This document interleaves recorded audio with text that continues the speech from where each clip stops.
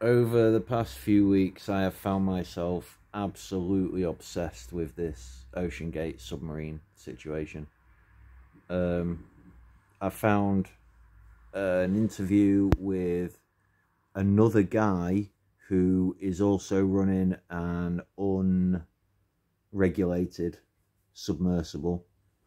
He's been doing it for, for years and years and years, and he's doing it right. He's doing it the same way that the Wright brothers did did aeronautics when when they first made their plane. Right, he only put himself in danger for like the first five thousand hours of his dives or something, um, and he had all the necessary safety that you would need. The only reason that he's not regulated is because the submersibles that he's using don't meet the requirements for him to, to be regulated by any of the, the bodies that deal with that.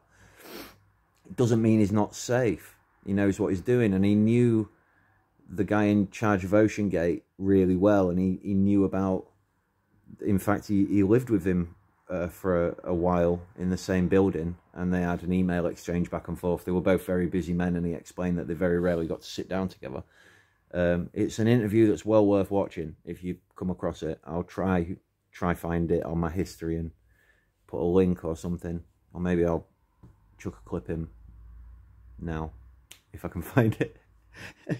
um, so yeah, the the way that the body of OceanGate you've got to think of as two separate components, right? There's the end caps, and I'm sure anybody who's been been following it, especially as deeply as me right now, you've got to have seen the wreckage being recovered, and you've seen that those those circular end caps um, were perfectly intact, and you can see that there's the hole where the porthole would have been is completely blown out and it got people speculating that that's where the failure occurred. But I can tell you, even whether it was that or or the cylindrical part that went first, within a microsecond, it didn't matter. It really didn't matter which one of those things actually failed. The point is that the two end caps are circular. They make a ball, and a ball is like the strongest object, and that was made out of titanium. So it's perfectly reasonable for those to be found completely intact. Those, you know, it's a tested shape, it's a tested material. Those were the strongest parts of the boat. Um, the boat, the submersible. The the cylinder, a cylinder is a much weaker shape, right? I've got a cylinder right here. And as we know, if I were, if I wanted to crush this cylinder, it'd be like a lot easier to do it that way, right? Just sort of down like that way, right? That's how you'd crush a cylinder. Um, the way it was wound, I've got another cylinder here. I drink a lot of Dr. Pepper. Um, it was, if you watch video of it being made, it was wound that way, right? which obviously means it's got zero strength in the direction that you would crush it. It should have been made that way, right? So that you couldn't crush it down, surely. Because this rounded part, like that's got strength and stability anyway, right? I mean, you know, it crushes, obviously. But it's an arch still. There's strength in arches. I know that.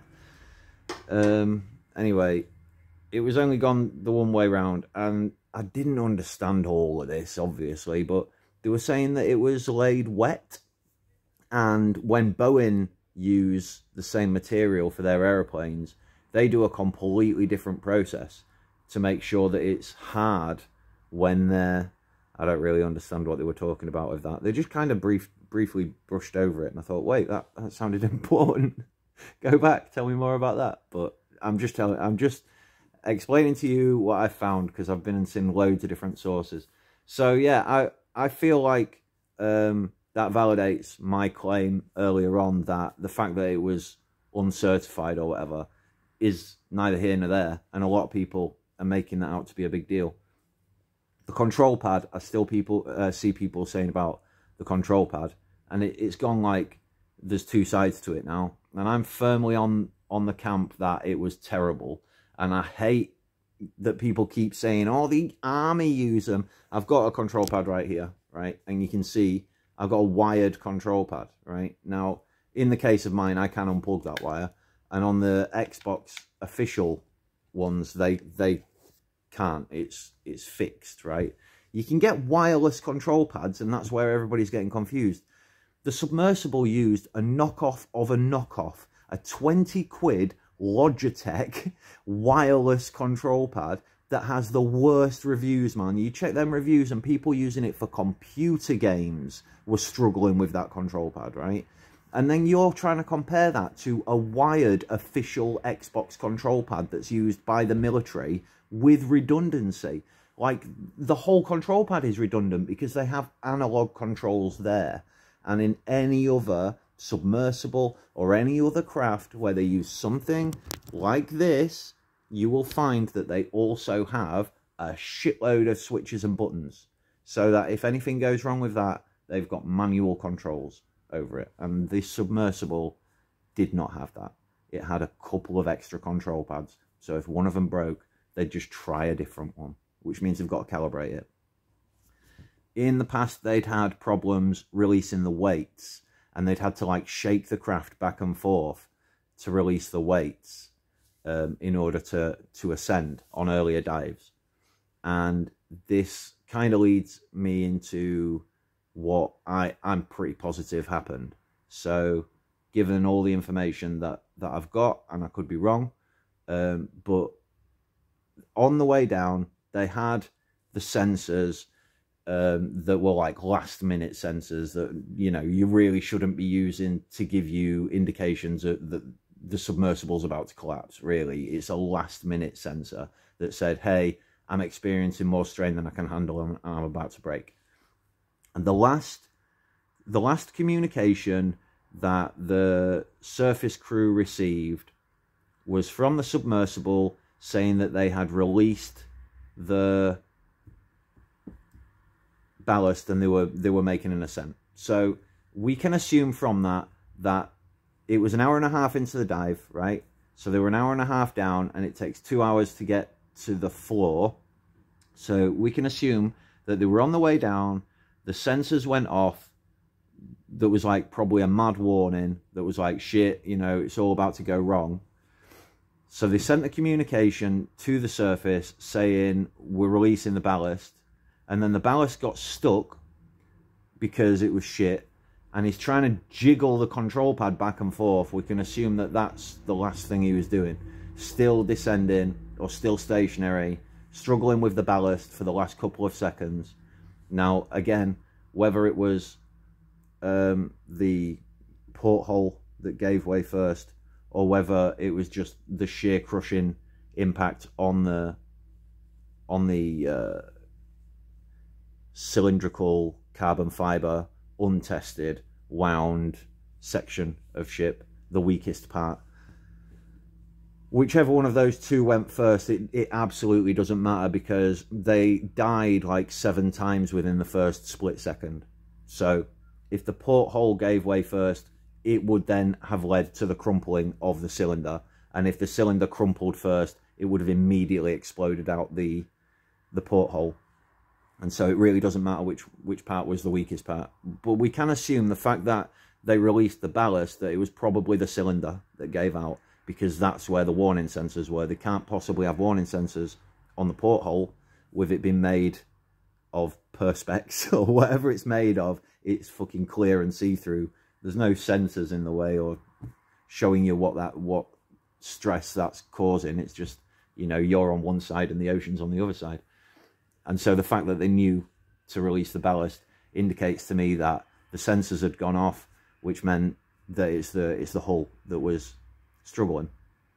Now, the next part that we're not being told, which is very interesting to me, is that the surface crew monitored the submersible's position using sonar, which is sound.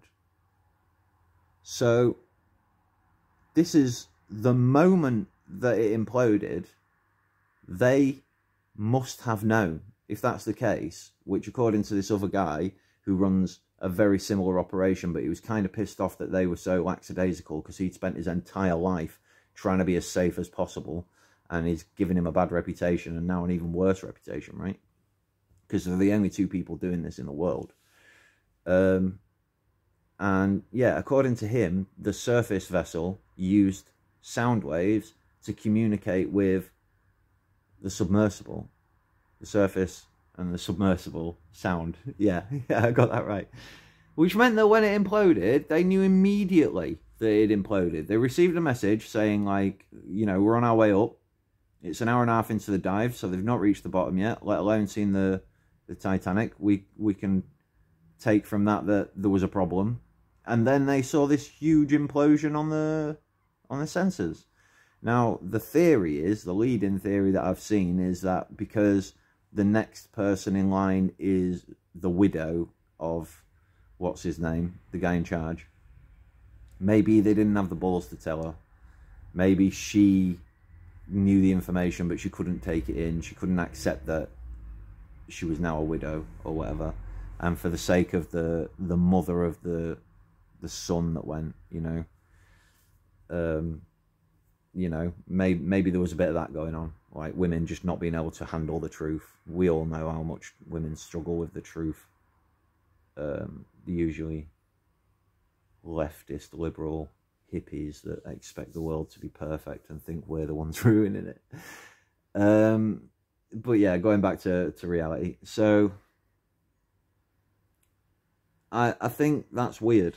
And then we know obviously that the military now, the reason the military didn't come out immediately was was twofold. One, nobody asked them. It's not their job to just step in and be like, "Oh, excuse me, they're all dead." Um, and two, obviously, it's sort of secretive information that James Cameron was very well aware of, and he was in with those kind of circles enough that he got the information within the first sort of few hours. Within the first sort of 24 hours, I've forgotten the exact timeline, but very soon after it happened, James Cameron was was you know, um, in public saying it's imploded, it's gone, you know, everybody on board was dead. It's the first implosion in history, and it's obviously the deepest implosion in history, with it being the first. So it'll go in the record books, and I think it's a deeply fascinating story, you know. So I've just been watching a thing now uh, that's led me to to make this short video about what I've learned so far. And uh, this guy, again, is harping on, oh, the military used the controller, so it's not that bad that they used the controller. And uh, I just, it, it made me think, I can't believe people are still saying that. I think it's really obvious, the difference between the two. And it makes me think that AI is writing these scripts because I've noticed AI does that. Like, it takes, it adopts a position, and even if you ask it to write a script, um, that is anti that position, it'll start off that way, but by the end it'll be like, oh, but it's not that bad really, and we're doing our best. I'm, I asked it to write me a script about bees. You know how much I hate bees. But it was like, oh yeah, bees are great. And I was like, you know, you can ask it questions and be like, yeah, you're wrong there, right? Yeah. And it's like, yeah, yeah, I'm wrong. It's quite happy. It's quite happy to admit that it's wrong, but it still says it. Anyway, that's the problem with arguing with a robot rather than a human, right? You argue with a human and they're at least embarrassed to be wrong. That's at least a start. It's a shame that they feel that way rather than just being like, oh, I'm, I'm more intelligent than I was a minute ago, which is the way I've always tried to take it. People go like, ah, because they expect me to be embarrassed. And I think that's weird, right? That That's akin to like, like I'm really skinny, yeah, and and people will go like, "Oh, you're really skinny," and I expect that to be an insult, or like I look like Stig of the Dump or whatever, whoever that is. So people will be like, "Oh, you look like a right scruff." It's like, yeah, is that supposed to be an insult? I don't, I don't really understand how. It's just state you're stating a fact. Well done, you've got about the IQ of a two-year-old. You can state facts. um, yeah, that, that's all I know about the sub. Really, um, the hull was wound weird. The surface ship could hear the implosion. They knew that the implosion had gone off. The control pad was a terrible idea, and they'd already had problems with the the weights dropping um, in order to ascend. So you put all that together and it's just like it's a weird one, man. It's a weird situation. But like I say, it's the first time in history that it's happened. Oh, uh, the last bit of information was all his legal work goes through. Uh, where was it?